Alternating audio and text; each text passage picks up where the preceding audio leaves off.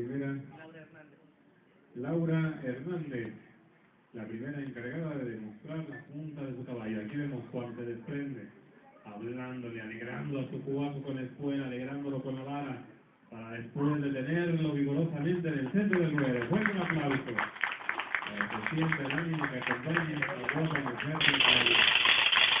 Desde el inicio de la independencia de nuestro país, la valentía de la mujer ha sido indispensable para escribir su historia. Nos vamos ahora con la siguiente encargada de rayar su cuerpo, Carla Briones.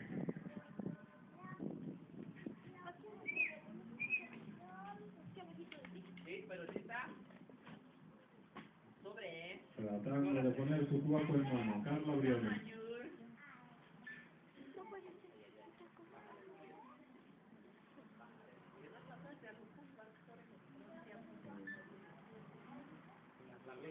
Aquí vemos cómo se desprende.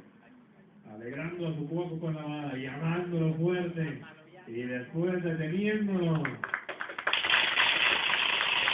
Haciendo ánimo con estas guapas mujeres de caballo. Carla Briones demostrando la punta de su arco.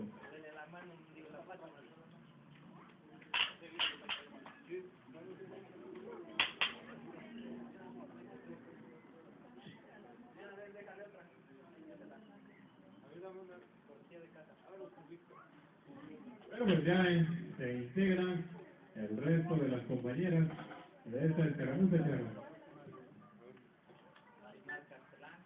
Marimar Castellán, Iris Castellán, Rosalba de Castellán y Emelina Castellán son las demás integrantes de esta escaramuza charla. Escaramuza 9 de Alianza, ahí vemos cuando se integran todas en una carga de caballería. Luego saludando a los bancos mexicanos, calmando a sus caballos para agradecerles